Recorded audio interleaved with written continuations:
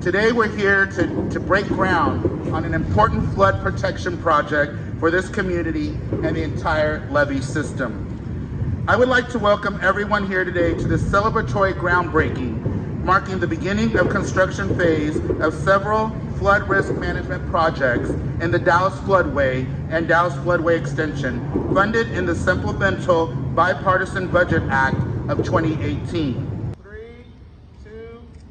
Three, two, one, turn the dirt. All good. I can tell you that I was so proud when several months later that the announcement came from the Army Corps of Engineers and our delegation that we were awarded the first ever fully funded project from the Army Corps of Engineers of $350 million. And that's something that we should applaud to all of these folks that are here.